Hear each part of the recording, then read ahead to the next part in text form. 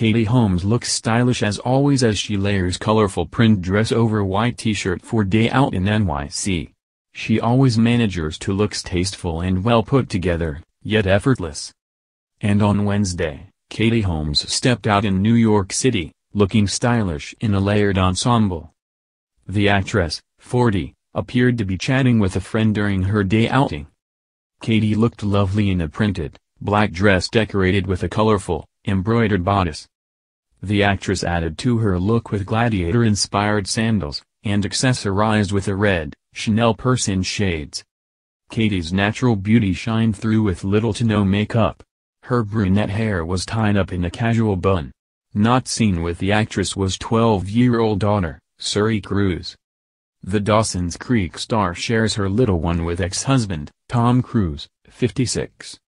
The talented actress is often seen with her mini-me, whom she styles in similar, girly attire such as herself. Katie is currently dating actor Jamie Foxx, 50. The duo reportedly got together one year following her divorce from Tom, back in 2013. The two have never publicly commented on their courtship, but they went public with their relationship at the Met Gala earlier this month. They are so great and Katie's always so chic.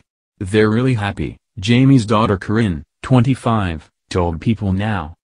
According to OK, the couple's romance had been tumultuous prior to them stepping out together at the Met Gala earlier this month. A supposed source tells the magazine, they're in a stable place now, but Katie and Jamie have had their fair share of fights, secrets and sadness over the course of their relationship. The alleged insider further contends that one of the biggest issues in their relationship has been Foxx's flirtatious personality and wandering eye, adding, Katie's always had her suspicions that Jamie hasn't been faithful. There were times she was driven mad with jealousy. The seemingly phony tipster goes on to say the actor recently reached a new level of maturity and has become more sweet and caring, so now Holmes is ready to take the next step in their relationship. Katie's been longing to have another baby so that, her daughter, Suri doesn't grow up an only child, asserts the so-called source, who also maintains Foxx is now on board with having a child.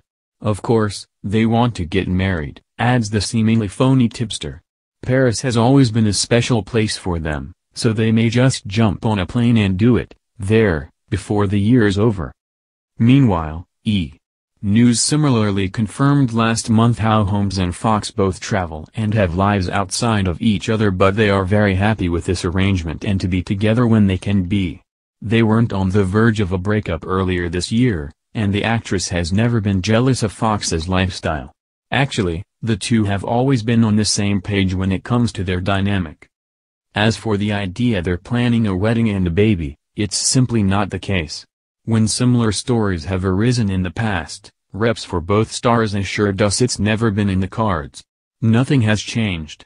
Also, OK. Already claimed back in January that Holmes and Foxx had gotten married in Paris. No wedding took place, and glaringly this new latest article makes no mention of that phony scenario.